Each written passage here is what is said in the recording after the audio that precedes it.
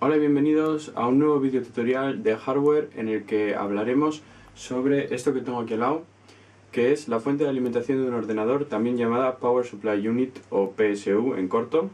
Y bueno, este cacharro em, tiene todos estos cables y es lo que a la mayoría de la gente le desespera cuando abre un ordenador y ve todo esto y dice bueno vale, eh, vuelve a cerrar porque no pillo nada pero bueno, en este tutorial lo que vamos a hacer es em, aprender a elegir una fuente de alimentación para nuestro ordenador y vamos a aprender eh, lo que es importante sobre las fuentes de alimentación y deciros que este es el anteúltimo tutorial en el que voy a hablar sobre la teoría de cómo montar un ordenador porque em, solo queda esta pieza esencial para montar nuestro ordenador aparte de la torre en sí y nuestro ordenador ya funcionará perfectamente.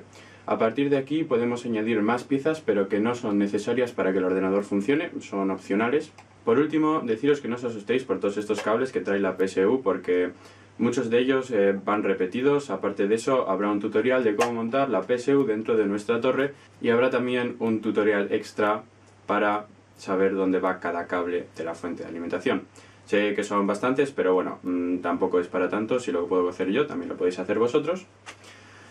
Así que vamos a ello.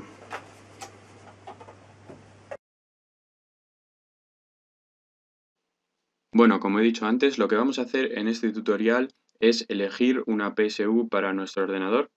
¿Cómo elegimos una PSU para nuestro ordenador? Pues bueno, necesitamos saber la potencia que necesita nuestro ordenador. Be Quiet es una marca de PSUs que nos ofrece esta calculadora para saber nuestra PSU, lo que necesitamos para nuestro ordenador.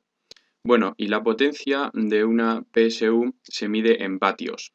Eh, no sé si habréis visto alguna vez, pero al lado de la PSU siempre pone 400 vatios, 300 vatios. Bueno, pues lo normal, voy a decir, son entre 400 y 700. Si nos pasamos de 700 para arriba, lo que son ya 800, 1200 y así, eso ya son PSUs para ordenadores muy potentes y bueno, yo de momento todavía no he, podido montar un ordenador así, pero bueno, igual algún día. De momento os voy a enseñar a utilizar esto, que es muy sencillo y muy rápido, muchísimo más rápido que hacerlo a mano. Bueno, esta página web, como veis, tenemos un modo experto y modo rápido. Voy a hacer el tutorial con el modo experto, pero el modo rápido ya, si habéis visto el tutorial con el modo experto, ya lo pilláis de la misma. Y bueno, lo primero que tenemos que hacer es elegir la CPU que nosotros hayamos elegido para nuestro ordenador. Y en mi caso es una AMD con el Zócalo AM3 y la CPU en sí es Athlon 2 X2 250. Después viene la tarjeta gráfica. Yo voy a tener una tarjeta gráfica que en mi caso ya viene instalada en mi placa base, que es una ATI y es la Radeon HD 4350. Después mm, viene la memoria RAM, que mm, en mi caso es una DDR. El tipo es DDR3 y voy a tener dos tarjetas de memoria RAM DDR3. Después viene el Cable Management. ¿Esto qué quiere decir? Bueno, el Cable Management es una cosa bastante nueva que hay en, las PSUs. Antes habéis visto que de la PSU que tengo yo pues salen un montón de cables todos juntos y bueno, en las nuevas PSUs se han dicho, vale, para que no salga todo ese barullo de cables, lo que vamos a hacer es la PSU en sí y los cables van aparte.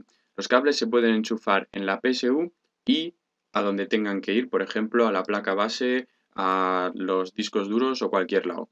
Entonces tendríamos, en vez de los cables que como en una PSU antigua nos van a sobrar un montón, pues solo tendríamos que estar usando los cables que necesitamos para nuestro ordenador. Pero bueno, yo lo voy a dejar en no porque mm, no sé, mm, porque me puede influenciar si le digo que sí, si quiero cable management, me va a enseñar solo las PSUs que tengan eso. Si le digo que no, me va a enseñar todas y yo lo que quiero saber son los vatios que necesito para mi ordenador. Así que lo voy a dejar en no. Y si luego ya quiero una, una PSU con Cable Management, ya le puedo decir que sí. Bueno, y el siguiente punto es si quiero hacer overclocking en mi ordenador. Overclocking es aumentar la potencia de mi ordenador o mejor dicho, aumentar eh, la potencia de mi CPU. Por ejemplo, CPUs que tengan tres cores, que sean triple core o así, pues hacerles que funcionen como si tuviesen cuatro. Eh, importante, hay que saber si vamos a hacer overclocking que hay CPUs que no aguantan muy bien el overclocking y aparte se calientan un montón y necesitaremos un sistema de refrigerador mucho más potente. Pero bueno, son cosas que yo creo que de momento yo por lo menos no lo voy a hacer, así que lo voy a dejar en no. Después me pregunta si en un futuro voy a querer modificar mi ordenador para bien o para mal. Bueno, le voy a decir que sí. Eh, quiero que la PSU pueda tener algo más de potencia por si acaso, por si en un futuro quiero meter un disco más o cualquier cosa. Y bueno, ya llegamos a esta zona de aquí. HDD son nuestros discos duros. Yo tengo uno que es SATA y bueno, el tutorial de discos duros ya lo habéis visto, así que podéis elegir el que tengáis. Otros drives, mm, yo voy a decir que tengo este de aquí, un, DVD RV y DVD más menos RV, que lo enseñaré en el siguiente tutorial, eh, porque son piezas opcionales que no necesitamos en el ordenador. Después tenemos aquí Water Cooling, que es el sistema refrigerado con agua, que yo no tengo, así que lo voy a dejar libre y otras tarjetas o otras cosas que podemos meter en nuestro ordenador. Yo no voy a meter nada extra de momento, así que lo voy a dejar también libre.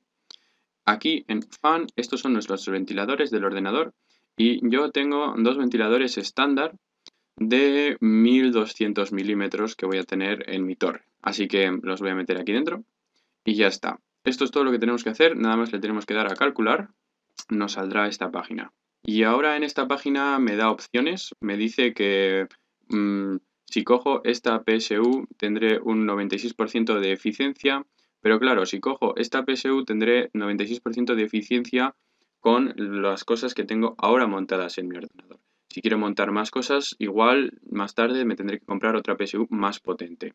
También decir que 300 vatios es bastante poco. Yo aconsejo una PSU de 400-500 vatios para un ordenador normal. En este caso, la que a mí me convence más es esta PSU con 72% de eficiencia y me está diciendo que tiene 400 vatios.